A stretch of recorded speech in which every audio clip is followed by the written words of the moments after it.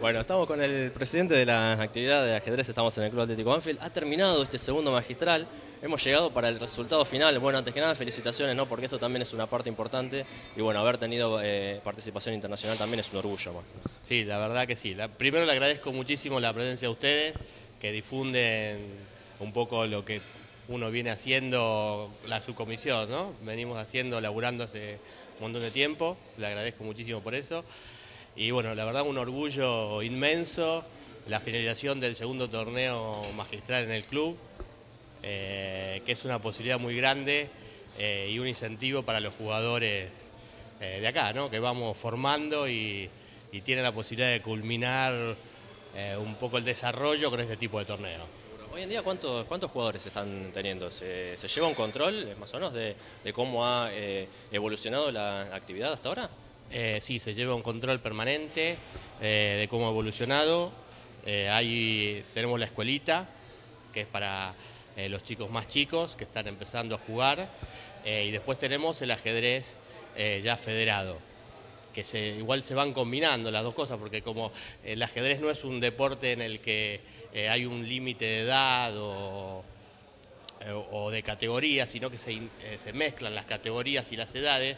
Vos, por ejemplo, podés venir un sábado eh, que hay un torneo abierto y están jugando jugadores de 80 años y de 11 años en el mismo, conviviendo en la misma, el mismo lugar, ¿no? Que eso hace a la formación como, como jugador y como persona. Que es integrador, porque un chico captar eh, experiencias de alguien más grande es bárbaro también.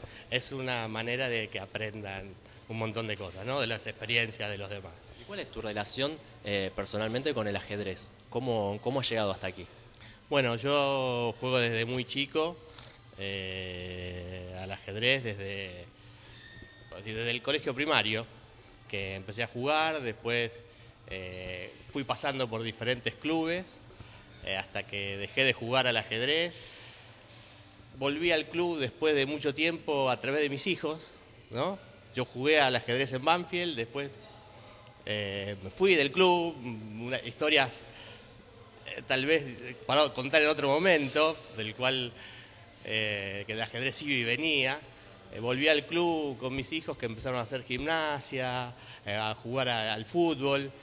Y bueno, y a partir de ahí, de ciertas condiciones que se dieron, hubo la propuesta de empezar con el ajedrez y lo traje a Gustavo, que lo conozco también desde hace mil años. Y bueno, empezamos acá, formamos la subcomisión y, eso, bueno, desde, siempre con el ajedrez. Empezar a darle una idea también, tenés varios puntales, hablabas de Gustavo y lo tenemos también aquí al, vicepresidente que, que, está acompañándonos, que se va a sumar a la charla, de él no quiere, pero nosotros lo vamos a sumar. Miguel Bocio, vicepresidente de la actividad, vitalicio del club, eh, y bueno, también de muchas batallas en esto. Sí. sí, verdaderamente sí. Lo que pasa es que yo empecé a jugar de chico hasta los 20, 22 años y después prácticamente el ajedrez lo hacía de entre casa, jugaba con la computadora y solo estudiaba. Y viendo en la cancha, eh, cuando Banfield salió, que se clasificó para Libertadores, que habló Falcioni ese día, desfiló ajedrez, uy, hay ajedrez en Banfield. Y me sumé, y bueno, hace seis años que estamos, seis, siete años que estamos acá, trabajando para, para esta actividad que realmente es maravillosa. Aquel que ha jugado una partida de ajedrez sabe lo que digo este, jugar una partida de ajedrez es algo espectacular. ¿Por qué? Porque tiene eh, el hecho de sentarse ante un rival que no es, eh, adversario, es adversario, no es un, enemigo, eh, y se tabla una, una, serie de situaciones que son realmente maravillosas.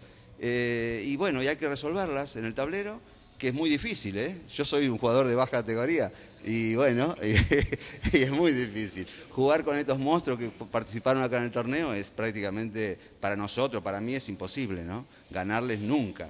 Sacarle una, tabla sería maravilloso, pero no. Parece que está siendo un poco humilde, ¿o no? No, sí, no, es así. No, el, ajedrez es un juego eh, realmente, aparte eh, la, actividad mental que, se obtiene, eh, para un chico sería buenísimo practicar ajedrez. Sí, porque vos recién hablabas de estudiarlo. Sí, hay que estudiar y mucho. Hay que estudiar y mucho. Este, incluso según la medicina, eh, el ajedrez es un aliciente para, contra el Alzheimer este, contra todas estas enfermedades de la vejez, no por eso estoy acá. bueno, realmente eh, felicitarlos y bueno, eh, nada, pensar que, bueno, todo esto se está haciendo en Banfield, que está siendo reconocido también, y el hecho de que a veces se conjugan, ¿no? Porque uno eh, principalmente pone la cabeza en el fútbol, mira cómo el fútbol a vos te llevó otra vez a volver al club, y también decir que es un deporte, ¿no? Que no, principalmente los deportes tienen que ver con la parte física, ¿no?